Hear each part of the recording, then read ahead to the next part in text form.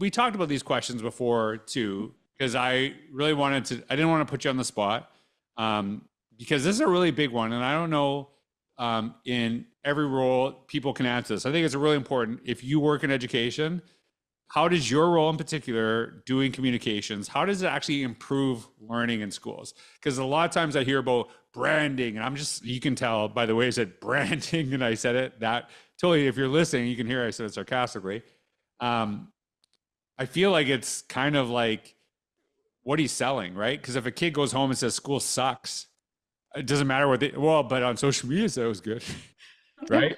Right? Well my kid said it sucks.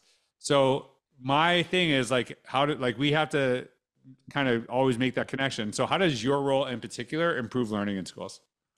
I'm gonna keep going back to my own kids. Because like same thing, like they will come home from school, like instead of saying like how was your day and getting a one word answer like good, mm-hmm. fine. I ask them to tell me fine branding right. um, um, you know i instead ask them like tell me something good that happened today so in my role, like that is what I focus on, like telling the story of our district, telling the good things that are happening, like opening the door to our classrooms, putting that out there, whether it's in our newsletter or social media or photos or creating videos. Um, you know, one great example is I was at our middle school for something totally else I went there for. Um, it was after school.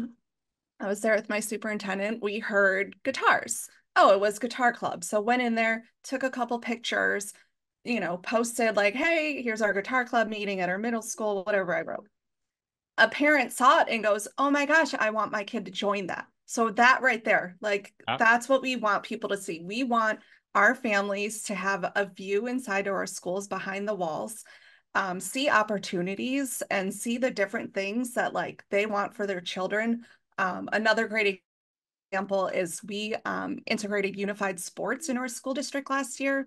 Um, so where our kids with special needs, they were on teams, um, sports teams. And, you know, we shared photos and pictures of that. And there was one student I posted a picture of, and the parent on social media was just like, oh my gosh, like, look mm. at my Sophia. Like, we're giving parents a view to their sides of their children they may not see otherwise.